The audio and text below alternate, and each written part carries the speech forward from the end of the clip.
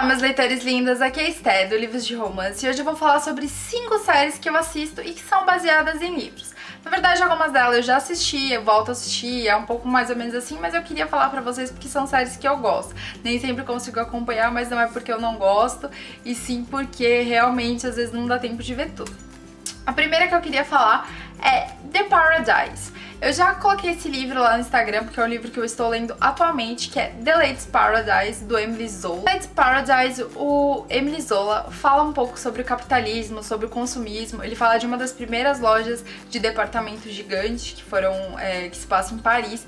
E ele fala tudo sobre essa era do início do consumismo, de como a gente baseia quem nós somos, baseado no que nós consumimos, toda essa fantasia em volta do capitalismo, sobre o consumo de roupa, a beleza das mulheres, é muito legal. Eu me apaixonei pela série primeiro, antes de descobrir que havia um livro por trás. Eu gostei muito quando eu comecei a ver a série, descobri ela meio que sem querer. E realmente, assim, foi uma série super legal. Foi uma pena, porque foram apenas duas temporadas. Ela foi transmitida pela BBC é fácil de achar na internet, assim, eu, eu assistia por torrent na época que eu assistia. E infelizmente foram só duas temporadas, mas para quem gosta de séries de época é incrível. A única adaptação que é feita, porque ela foi produzida pelo BBC, é que elas passam na Inglaterra e não em Paris como no livro. Mas vale super a pena, é uma, uma série super rica em detalhes e para quem gosta de romances de época como eu, com certeza vai gostar. A segunda série que eu quero indicar é Sleep Hollow. Ela tem três temporadas. Acredito, eu não sei se é uma ou duas que tem na Netflix, mas eu descobri ela por causa do Netflix. Apesar de Sleep Hollow ser mais uma série que é baseada no, na conta do Cavaleiro Sem Cabeça, do Washington Irving, eu gosto bastante das diferenças que eu encontro nessa série. Toda a base histórica. Pra quem gosta de história americana, eu não conheço tanto, acabei conhecendo mais pela série e acabei lendo um pouco mais na internet porque eu fico, fiquei curiosa por causa da série. A série traz várias referências bíblicas e de história, ela entra dentro da história americana e é muito interessante. Para quem gosta de ler, com certeza é uma série que é rica em detalhes históricos e eu tenho certeza que vocês vão gostar tanto quanto eu gosto. Eu não terminei de ver a terceira temporada ainda, que é a última temporada que foi lançada, mas eu tô aí colocando nos meus horários porque é uma, é uma série que realmente vale a pena. Dá pra começar pra assistir no Netflix, caso você queira se interessar. E eu vou falar que é difícil. Eu comecei a ver com meu irmão, a gente começou a vender na Netflix e a gente assistiu quase a temporada inteira, acho que em dois, três dias. Foi assim, muito rápido. A gente fez uma maratona e continuou vendo sem parar porque a gente gostou muito. A terceira série que eu quero falar é True Blood. Eu já falei em outros vídeos que eu tô querendo ler o livro, até falaram pra mim que provavelmente eu gostar mais dos livros do que eu gostei da série, porque afinal foram sete temporadas pela HBO e realmente o final foi nada satisfatório, eu fiquei bem chateada com o final. Pra quem não conhece, True Blood é baseado nas crônicas de, de Suckstack House, os livros, né?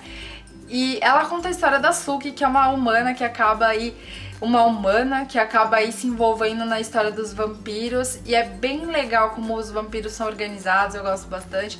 Sinto muitas saudades do Eric, eu sou Team Eric para sempre. E então com certeza eu vou gostar dos livros, acredito, porque eu gostei muito da série. Eu vi fielmente, via, assistia todos os domingos às 10 horas na HBO, sempre que saía lá o episódio eu tava vendo. Então eu fiquei um pouco chateada com o final da série, porque foi uma série bem extensa. Só que mesmo assim eu recomendo porque, apesar dos pesares, foi uma série que eu gostei muito de ver, por isso que eu assisti as sete temporadas.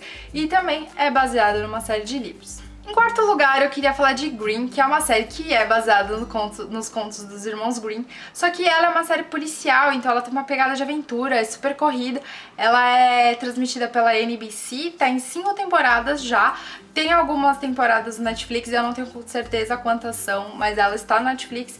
E é muito legal porque ela acaba relacionando o nosso mundo de hoje com contos dos irmãos Green. Então é bem divertido, eu gosto bastante. É uma série que cada episódio conta a história de um ser que apareceu em algum dos contos dos irmãos Green e é bem divertido. Para quem é fã dos Green, com certeza não tem como não gostar.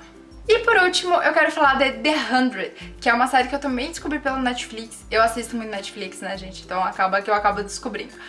E eu não sabia, fiquei sabendo depois, que é baseada numa série de livros da Cass Morgan, que na verdade é uma trilogia.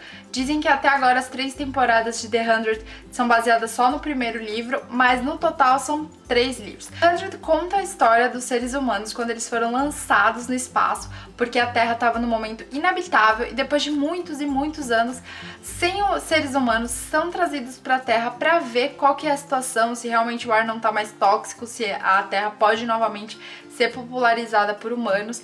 Então a gente segue a jornada desse 100, a procura da sobrevivência na Terra e tudo que seres humanos anteriormente causaram à Terra. É bem interessante porque a gente acaba pensando um pouco no futuro, porque realmente a gente tem feito assim muitos danos ao planeta Terra. Então, com certeza é uma série que leva a gente a pensar um pouquinho nisso. E eu gosto bastante, ela é super bem produzida e também tem três temporadas. Essas foram as minhas 5 indicações de séries baseadas em livros. Se você tem alguma série pra me indicar, deixa aqui nos comentários e me conta de uma série que você gosta muito, ou se você já assistiu essas séries que eu falei ou leu os livros, me conta o que você achou também. Se o vídeo foi útil, não esquece de deixar um gostei. Se você ainda não é inscrito, inscreva-se. Um beijo e até o próximo vídeo.